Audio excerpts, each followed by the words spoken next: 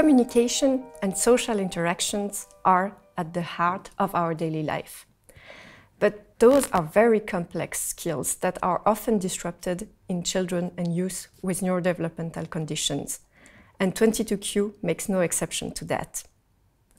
According to recent models, social functioning and communication are influenced by several building blocks language and communication, and social cognition. And of course, there are also important influences of the environment. In this sequence, we are going to discuss what we know about these important building blocks and how they influence social communication. We are also going to discuss the topic of the co-occurrence uh, between 22q and autism spectrum disorder, and we are also going to provide some important recommendation regarding the intervention strategies for social difficulties. We are going to discuss about this first building block, which is speech and language. During infancy and childhood, the vast majority of children with 22q have a preserved motivation to communicate and to be in contact with other people. However, they have some specific challenges that can make this communication more difficult. For example, they can have palatal anomalies and hypernasal speech, which can interfere with their ability to make them uh, understandable. They can also have some specific expressive language difficulties. In our experience, all of these difficulties can really trigger a form of social anxiety and lead children with 22q to decrease the number of, of social interaction that they are going to seek in their daily life, especially outside of the direct family circle. So when communication is impaired very early on, for example, during infancy and early childhood, it is very important to put in place early intervention strategies. It can be, for example, in the form of augmentative or alternative communication uh, strategies, such as the use of pictograms. Later on, during childhood, usually the expressive language increases and most children with 22q become fluent speakers. However, there are specific challenges that remain in the expressive domains. For example, they tend to have initiation difficulties and they have difficulties also to structure a narrative.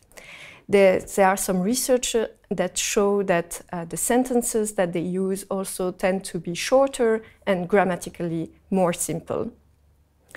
Regarding comprehension, uh, we know that most children with 22q have a lower level of vocabulary, and they tend to have what we call an atypical profile in terms of language, in the sense that in a large number of children, the understanding abilities are lower than the expressive abilities.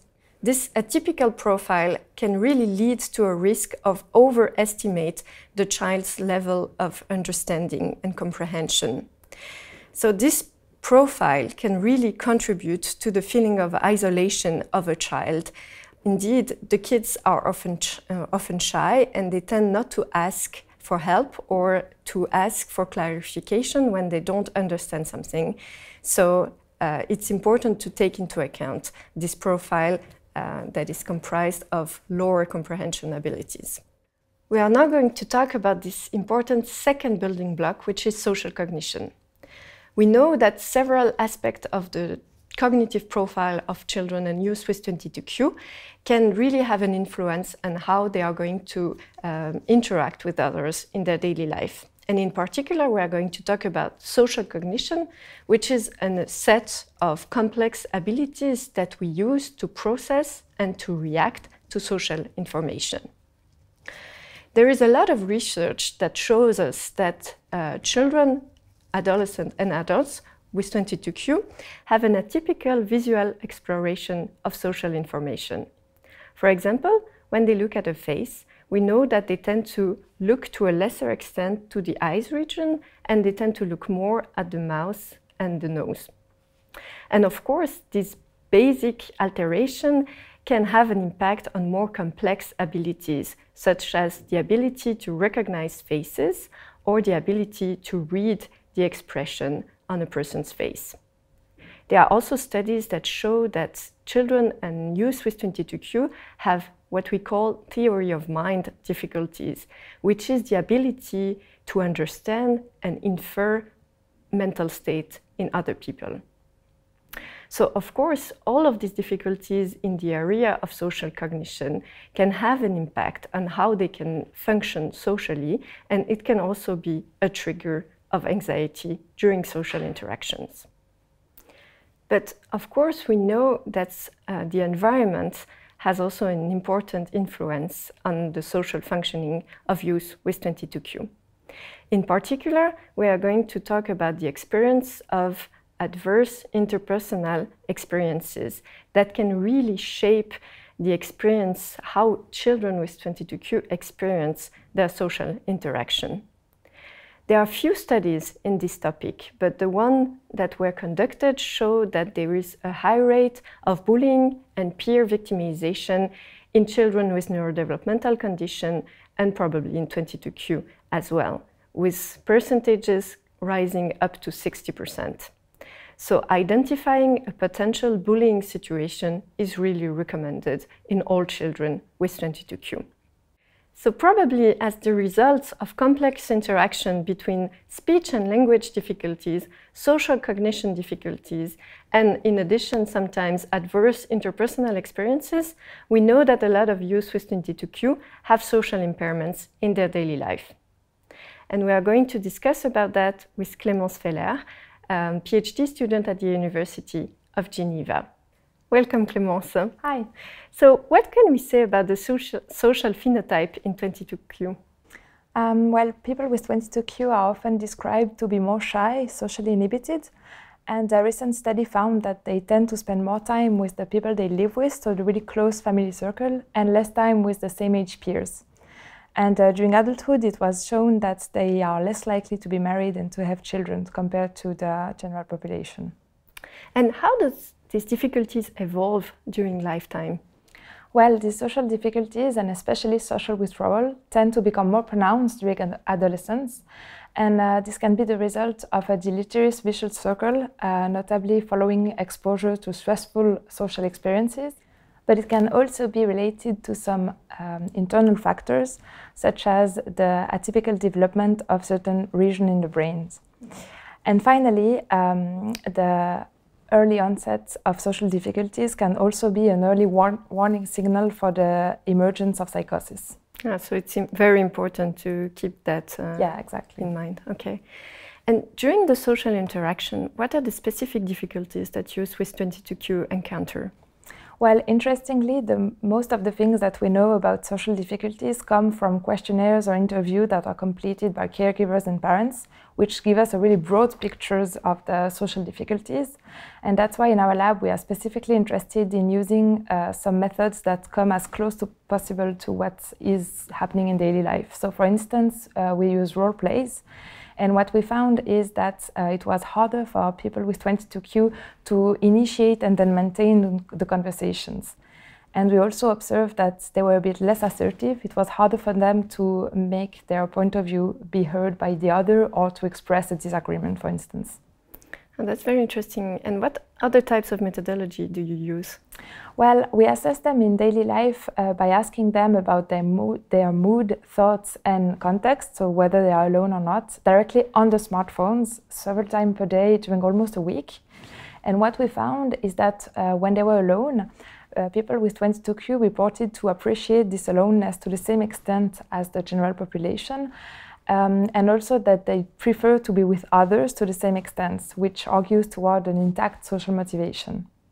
And on the other hand, when they were in company of people, um, they, even though they reported to appreciate the social interactions to the same extent, they said that they'd prefer to be alone um, more often than the general population, which show that even though the social interactions are appreciated, that they come at a certain cost. Thank you very much, uh, Clémence. So during this interview, we have discussed about the social functioning difficulties that youth with 22q experience in their daily life. But one can wonder whether children and adolescents with 22q can be diagnosed with autism spectrum disorder or ASD, which is a neurodevelopmental condition characterized by pervasive social and communication difficulties. There are a number of studies that show very high rates of ASD in 22q, around 40%. But these studies have been mainly conducted with parent reports of the behavior of the child, and not so many studies use direct observation measures. And those who did found much lower rates. So what this tells us is that there are social and communicative difficulties in 22q that are sometimes pervasive and meet the diagnostic criteria for ASD, but that are probably a bit qualitatively different from what we know from idiopathic autism spectrum disorder. So if there are specific concerns about communication and social interaction in a child with 22q, it's important to have a specialized assessment by a team that is specialized in the field of autism spectrum disorder. In the last part of this sequence, we are going to discuss about important intervention strategies for social difficulties. We know that most children and youth will benefit from intervention strategies in this domain, but there is probably not a one-size-fits-all strategy, and it's important to really have a full assessment to really identify the social profile and the difficulties in a specific uh, child. There are very few intervention studies in the field of 22q, so one of the possibilities is to use and adapt intervention strategies that have been developed for other populations like autism or intellectual disability. We have already discussed that when there are important and prevalent communication difficulties early in life, uh, it's important to put in place augmentative and alternative communication strategies. Uh, it's also important to consider the use of surgical intervention if there are uh, some speech difficulties that interfere with the ability uh, for the child to speak and to make him understood. In terms of social cognition, several studies have shown that cognitive remediation can help uh, to improve the recognition of faces and facial expressions. For example, there is a cognitive remediation program called Vis-a-Vis that can be used over 12 weeks to work on the recognition of facial expression through an increase of the attention toward the eye regions. Two small studies have shown that it's possible to train and to teach social skills in adolescents and young adults with 22q, even through an online format. And finally, it's very important to treat mental health difficulties that can arise in 22q as they can have a significant impact on mental health. In this sequence, we have covered the different dimensions that can have an influence on social functioning in youth with 22q. We have also discussed about the co-occurrence with autism spectrum disorders, and we provided important recommendation for the intervention in this domain.